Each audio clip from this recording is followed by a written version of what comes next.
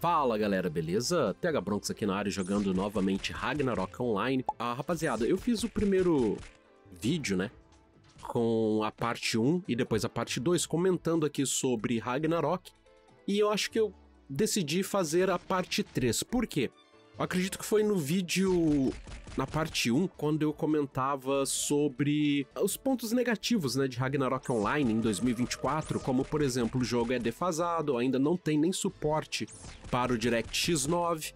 E eis que então eu queimei minha língua. No dia que eu gravei a parte 2, a Warp Portal colocou no site oficial que eles atualizaram no update aqui de 6 de fevereiro o jogo. E agora tem finalmente né, o suporte pro DirectX 9. E por que, que isso é importante? Era, era um update que eu esperava muito.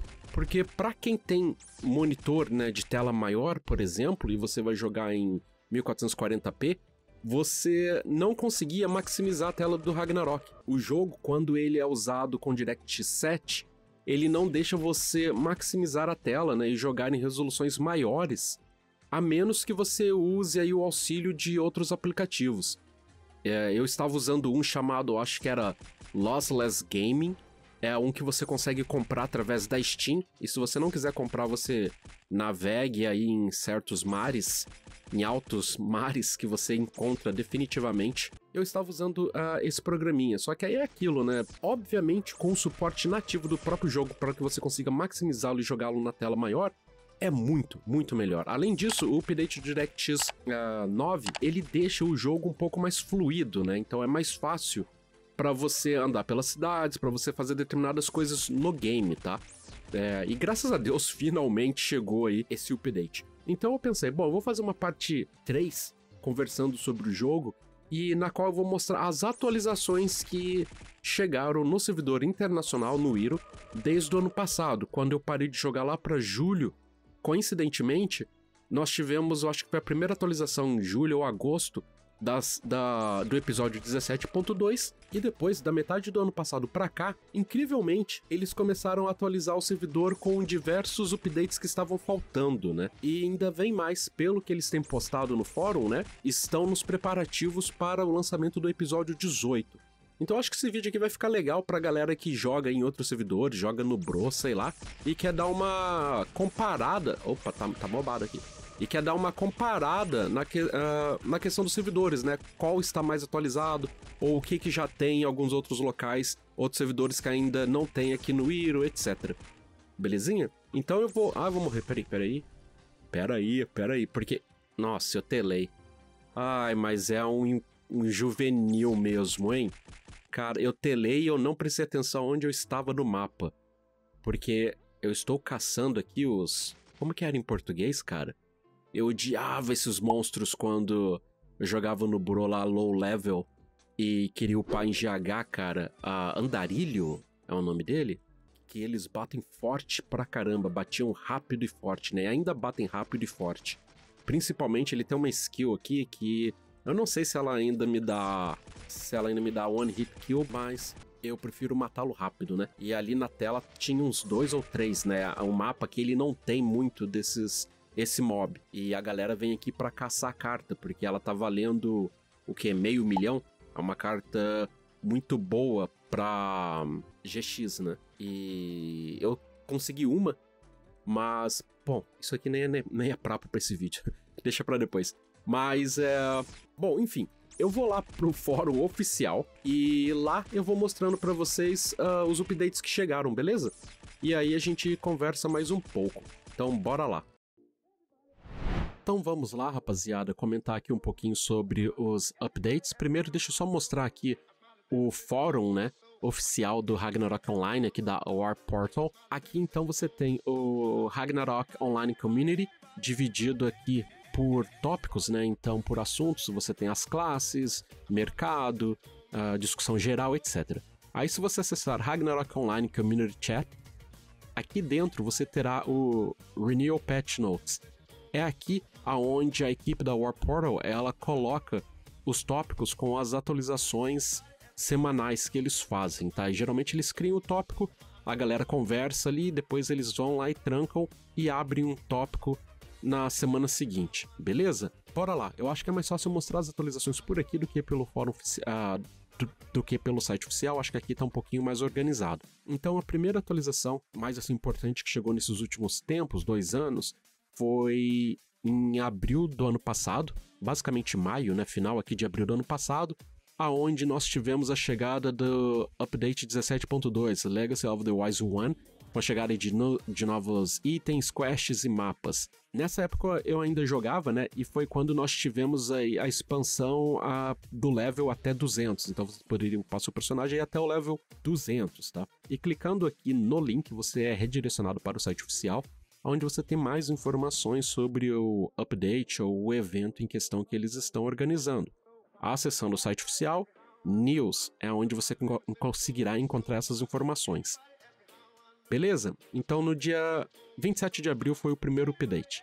Depois eu dei uma parada de jogar tal, e esse ano eu percebi que a partir de setembro do ano passado, os updates começaram a chegar para valer, meio que assim, na sequência, né? Um atrás do outro. E aqui eu acho que no dia 7 de setembro, data importante, hein?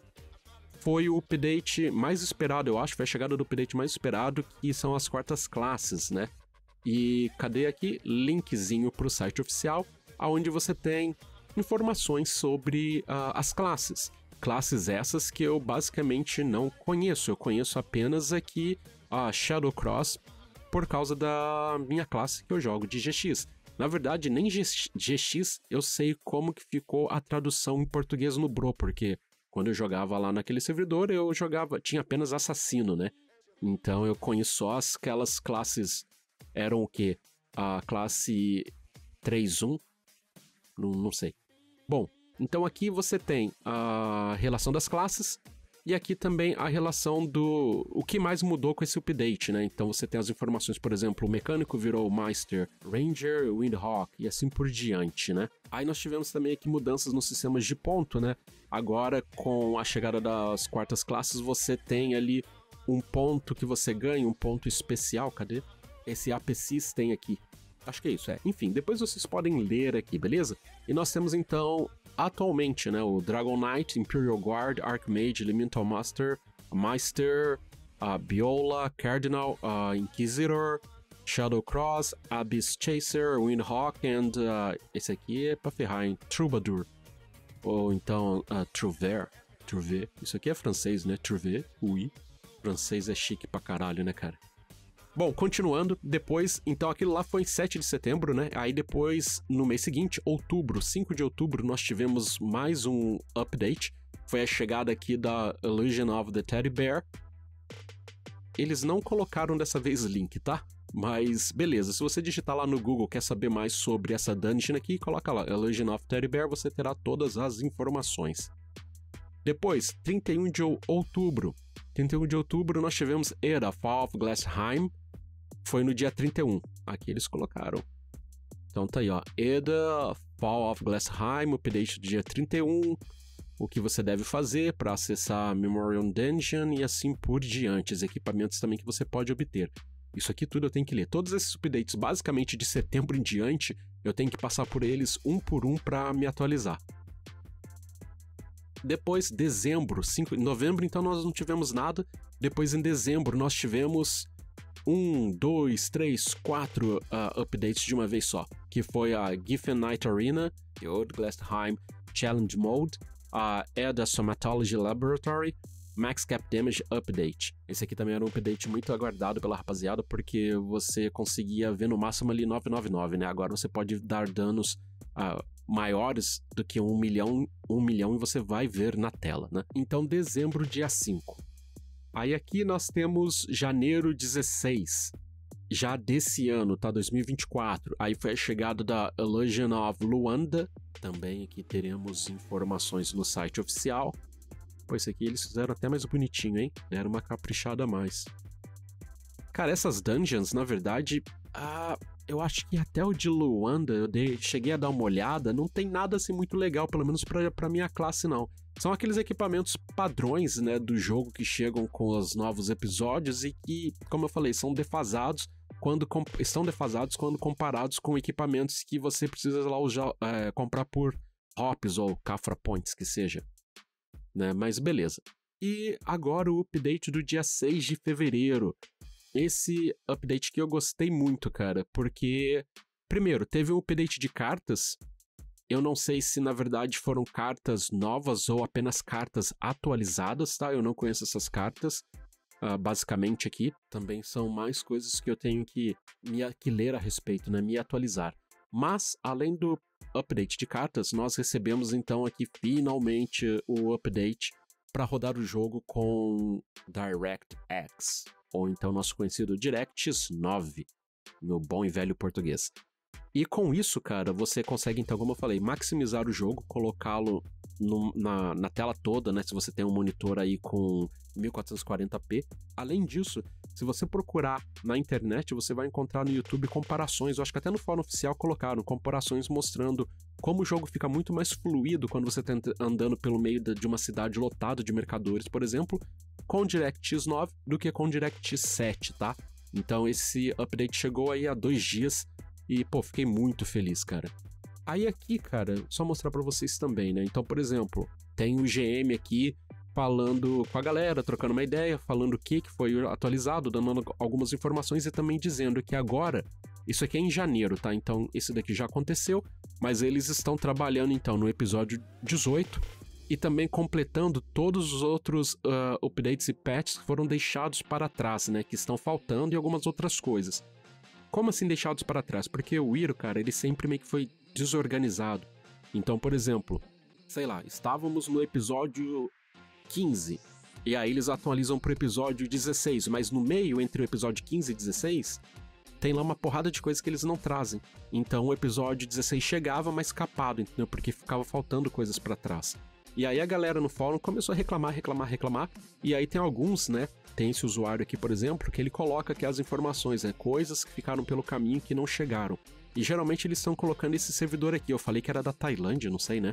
Mas na verdade é servidor de Taiwan e Hong Kong, que foi o último servidor, acho que oficial, lançado e que já está bem atualizado, na verdade, né? Então, por exemplo, aqui ele está dizendo que tem coisas faltando que deveriam chegar antes da chegada das quartas classes, né? São duas dungeons.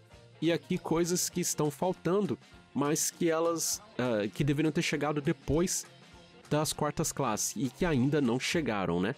Uma que eu estou bem ansioso, obviamente, é o episódio 18, apesar que nem o episódio 17.2 completo eu, eu entendo ainda.